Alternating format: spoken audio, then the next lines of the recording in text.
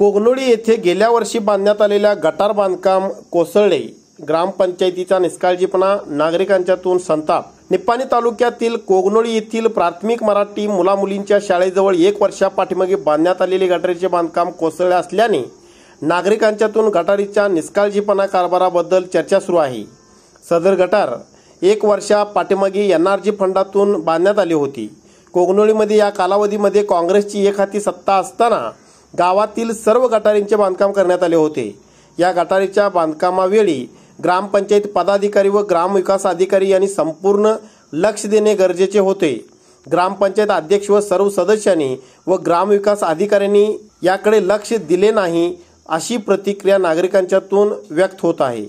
एक वर्षामागे लाखो रुपये खर्चून बांधण्यात आलेली ही गटर पडल्याने गावातील झालेली विविध विकास कामे अशाच प्रकारचे झाले आहेत का असा सवाल नागरिकांनी उपस्थित केला आहे. या कामातीलच हे एक काम अतिशय निकृष्ट दर्जाचे झाले असून याला जबाबदार कोण अशी प्रतिक्रिया उमटत आहे. या गटारीचे बांधकाम निकृष्ट दर्जाचे झाले असून याला संबंधित अधिकारी वर्गाने ही गटारी बांधून द्यावी अशी विरोधी गटातील ग्रामपंचायत सदस्य सुनील माने सुमित माने स्वाती शिंत्रे विद्या भटकर यांनी केले आहे.